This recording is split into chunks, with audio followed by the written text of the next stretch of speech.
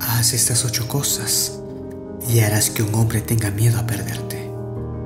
Te desvives por esa persona y sientes miedo a perderla. Que pueda encontrar a alguien mejor que tú o irse en algún momento repentino. Todo el tiempo estás pendiente del celular para saber si te escribió, te llamó o dio alguna señal de lo que estaba pasando o si estaba pensando en ti. Pero probablemente sea hora de que demuestre tanto como tú que te quiere en su vida y está dispuesto a esforzarte para que estés ahí. Cuando tú estás en una relación, lo haces porque buscas plenitud, buscas que la relación te haga crecer, te dé caricias, te ayude a quererte, te ayude a apreciarte.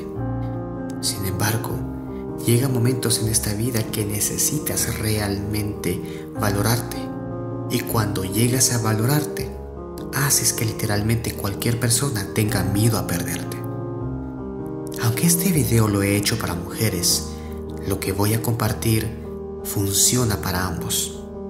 Sin embargo, si tú estás cansada de ser la chica que siempre llaman, cansada de ser la mujer que siempre resuelve los problemas sin que él haga nada al respecto, si estás cansada de ser siempre tú la que la busca, la que está constantemente haciendo funcionar la relación, entonces lo que te voy a revelar a continuación en este video te va a impactar.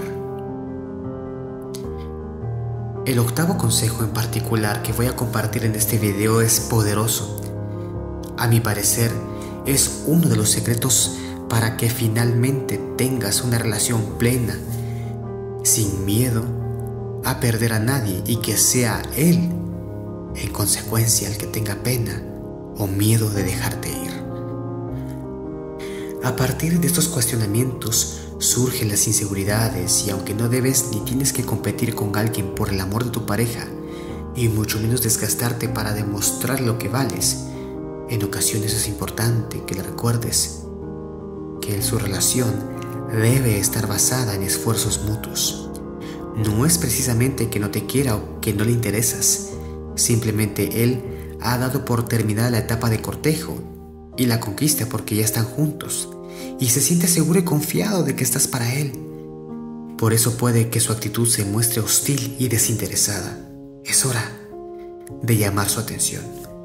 Aunque en el terreno de las relaciones amorosas no hay manuales que funcionen exactamente igual para todas las parejas, te voy a dar estas opciones que podrán ayudarte para que esa persona se muera de amor por ti.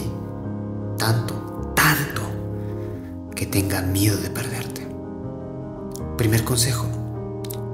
Coloca tus necesidades, deseos, o intereses como prioridad.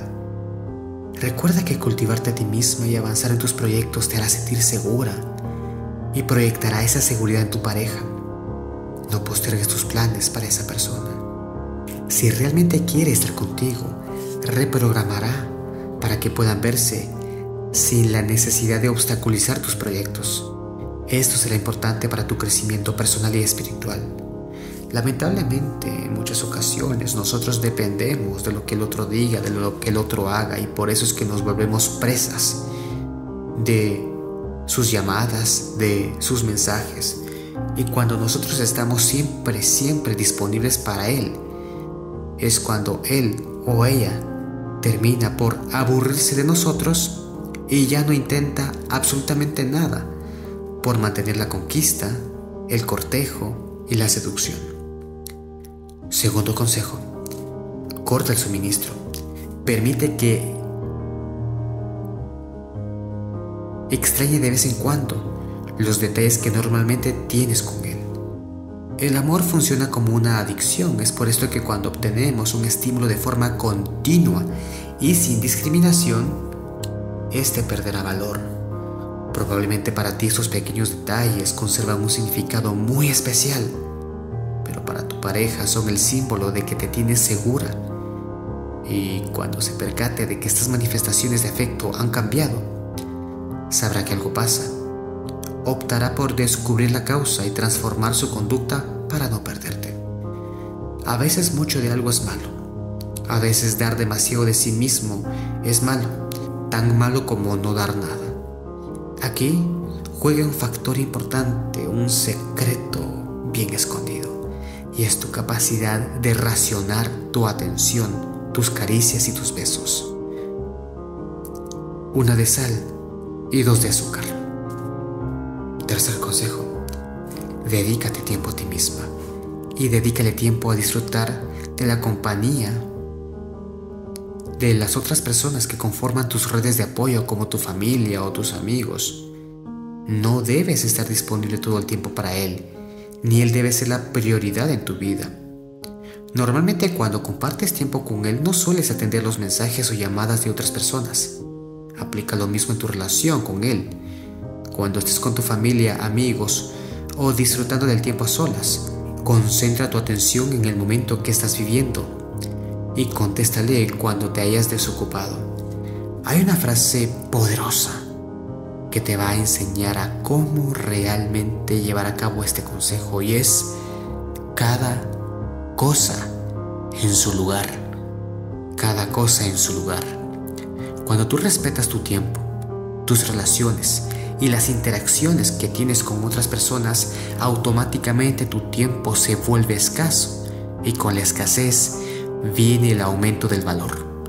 Todo aquello que es escaso se aprecia más que aquello que es abundante.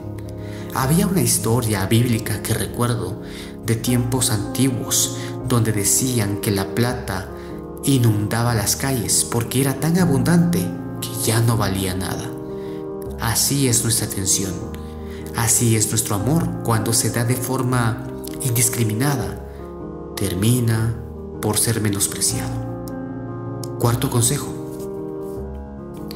cuídate. Cuida de tu salud y tu aspecto físico.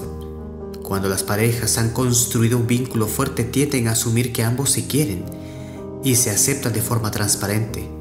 Pero es importante que mantengas tus hábitos de autocuidado, que tengas una alimentación balanceada acorde a tus necesidades y realices algún tipo de actividad física. Más allá de la apariencia física, esto ayudará a mantener el equilibrio en tu vida entre tu relación en pareja y tu individualidad Adicionalmente, realizar ejercicio aportará beneficios para tu salud física y tu salud mental. La apariencia vende. Cuando uno pregunta a la gente, ¿el físico importa? Todos dicen, no, no importa. A veces son como los delincuentes cuando uno le pregunta, ¿tú lo robaste? Y él te dirá, no, no lo hice. La gente niega aquellas cosas que regularmente hace, por miedo al rechazo, por miedo a la descalificación social o por miedo al repudio. Por lo tanto, dice cosas que quizás no cree. Así, cuida tu físico, cuídate, mírate regia, bella y créeme, con eso lo vas a tener embobado en ti. Establece límites y líneas rojas que permitan construir una relación acorde a tus expectativas afectivas. Debes construir una relación que corresponda a los valores que consideras imprescindibles en tu vida. Sé firme en tus decisiones y no cedas ante las súplicas o la manipulación. Respétate a ti misma y comprende que mereces el amor que entregas a los demás. Establecer límites es la parte más difícil de nuestras vidas porque constantemente tenemos una existencia desordenada o en muchas ocasiones desocupada o al menos aquellas cosas en las que ya trabajamos no tienen tanto valor que al final las desplazamos por amor. Desplazar una pasión, un deseo, un trabajo, un proyecto, una meta por amor es lo que al final te va a hacer verte necesitada y urgida del amor de alguien más. Y como ya lo dije en otro video, la urgencia, la necesidad no es atractiva. Sexto consejo, muéstrate independiente. La mayoría de hombres se sienten seguros asumiendo que la persona con la que establecen una relación necesitará de un héroe la mayor parte del tiempo Cuando se dé cuenta de que eres totalmente autosuficiente y no necesitas que te rescaten, empezará a esforzarse para demostrarte que merece estar en tu vida y que puede aportar cosas valiosas. La realidad es que este consejo tiene dos matices. El primero, sí, una mujer independiente atrae. Una mujer capaz atrae. Pero también atrae la mujer que no tiene miedo de pedir apoyo, que no tiene miedo de sentirse o verse vulnerable. Recordemos que todo hombre, en lo profundo, considera la protección y el acto heroico como una muestra de amor. Si no dejas que él te muestre su amor, no sentirá que te persigue y si no te persigue, no te va a valorar. Así, usa este poder, el poder de la independencia, con mucha, mucha cautela. No abuses de la independencia, pero tampoco abuses de la interdependencia. El equilibrio es la clave. Séptimo consejo. No es necesario que recurras a los celos o las amenazas. Comunica lo que sientas y las cosas con las que no estás de acuerdo de forma asertiva. Si para él no es importante, no cedas a ser complaciente con sus necesidades e ignora tus emociones o malestares en la relación. Además, si él no está dispuesto a escucharte, quejarte solo va a generar un conflicto más grande y será más desgaste emocional para ti. Ser directa es algo de lo cual un hombre a veces no está acostumbrado viniendo de una mujer. Y cuando eres directa y le dices lo que quieres, lo que no quieres, es ahí donde las cosas se pueden dar de forma exitosa. Y si ya llegaste a este punto, por favor, déjame un emoji de la mariposa en los comentarios. Sigamos con el octavo consejo, el más poderoso de todos, el que te va a dar la clave. Es el consejo de oro. Es aquello que te va a permitir literalmente estar en su mente y jamás salir de ahí. Solo te pido, de favor, que utilices este consejo con sabiduría y no lo utilices para lastimar a nadie. ¿Estás lista? ¿Listo? Aquí va. Octavo consejo. Deja a un lado el miedo a perder a tu pareja. Si es una relación que no funciona y sientes que está afectando tu bienestar psicológico, no es justo que te esperes que mejore cuando no será así. Después de poner en práctica esos puntos, reflexiona sobre si realmente es la relación que estás buscando. Si a él le da igual tu cambio de actitud, es hora de cambiar el rumbo. Porque quien quiere estar contigo y te ama, hace más de lo posible para no perderte. Cuando tú pierdes el miedo a perder a tu pareja, literalmente eres poderosa. Haces que él sienta un magnetismo interesante. Llegar a ese punto de no necesitar de la otra persona es algo que muy pocas veces se logra. Así, ahora que tú eres la prioridad y decidirás a qué cede a pesar de que debes alejarte y cortar con ciertos patrones que te hacen ver como disponible y segura para él, crea un vínculo emocional sólido. Tu ausencia le recordará que te puede perder. Este proceso debes realizarlo de forma sutil y transitoria, no de la noche a la mañana. Restringe algunas situaciones que le permitan identificar a él que algo está cambiando y que su comportamiento también se debe transformar para que la relación siga funcionando.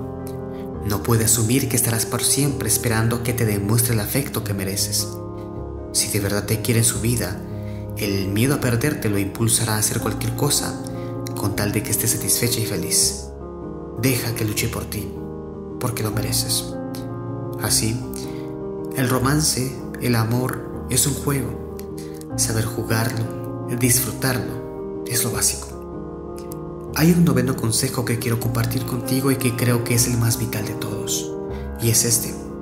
Diviértete. Si una relación no te permite divertirte, disfrutarlo, no vale la pena sostenerlo.